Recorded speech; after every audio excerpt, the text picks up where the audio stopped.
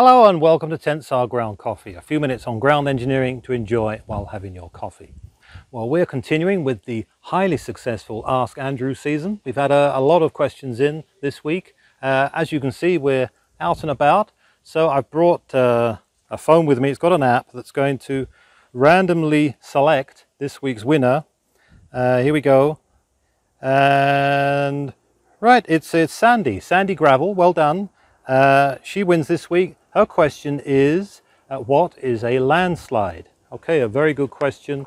Um, quite a fundamental question in ground engineering about uh, landslides. As luck would have it, uh, we're standing here next to a landslide. So, um, Brian, if you just uh, pan up there a bit, you'll see how devastating a landslide can be. Unfortunately, this house uh, has been condemned because the whole front, uh, the whole rear of the house rather, has all descended downwards. That's the old uh, veranda there, that's come down and uh, the landslide continues off into the distance there. And we're actually standing on the road and can you see down there, Brian, where the, the road is now? It's a good um, four to five meters below where it was before. So it's a very devastating uh, type of geohazard and clearly one that we want to avoid. So in order to avoid it, it's good to know uh, what causes a landslide. Well, a landslide fundamentally is caused by gravity. So it's the self-weight of the material wanting to fall down. So if you had a horizontal ground surface, then there would be no uh, landslide. Uh, but of course, not all ground is horizontal.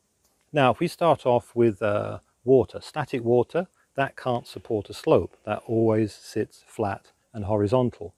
So soil can support a slope because of the internal friction between the soil particles. So it can actually support uh, a slope without uh, collapsing. And depending on the strength of the soil, that slope can get steeper and steeper. So a soft clay would be able to support a very shallow slope, sand and gravel getting steeper until you get all the way up to a rock and that can stand vertically. So you get these big high cliff faces and mountains composed of rock because they have all the strength to support themselves uh, vertically.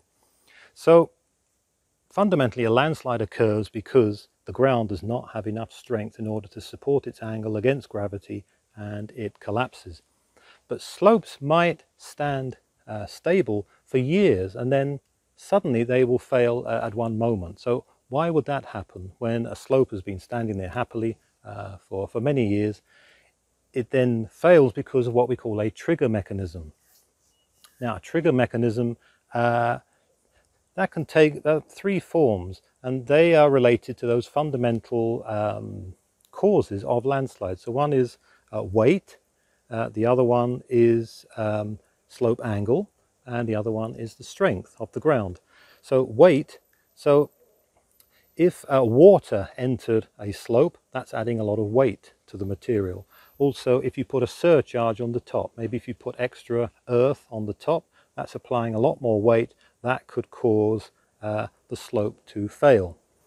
Uh, regarding uh, the slope angle, okay, if you make it steeper, that could make it fail. So if you did some excavation work and took away some soil at the base, that is like making it steeper, and that could make it collapse.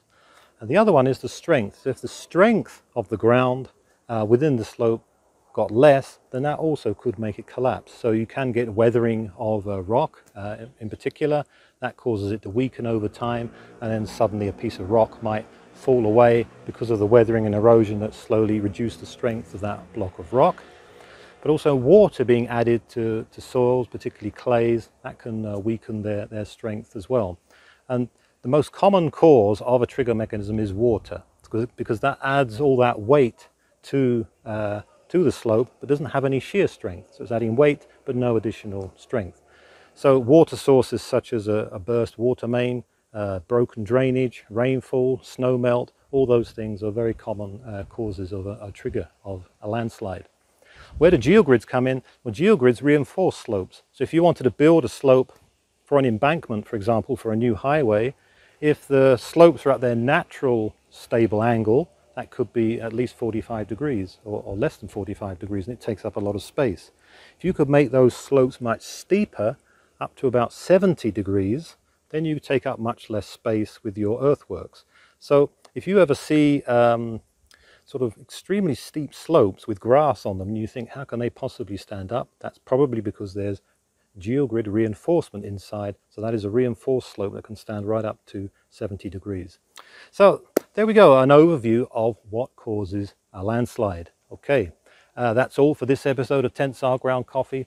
Thanks for watching and see you next time.